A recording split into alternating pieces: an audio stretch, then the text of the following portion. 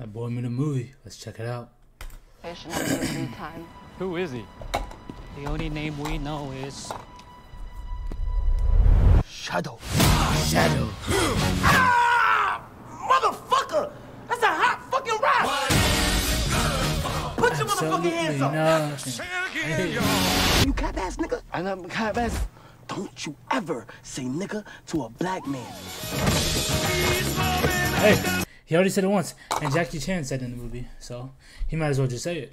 You Lil Yachty! Yeah.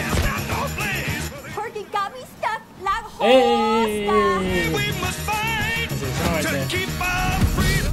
One, two, three. First one the cat you can bring in. Capiche? Hold on, be. Okay, he's I'm not the one who need a wingman. Michael Jackson. If gonna rob us, at least put some clothes on, B. Is it? Is this he taken? What is it? Who's that?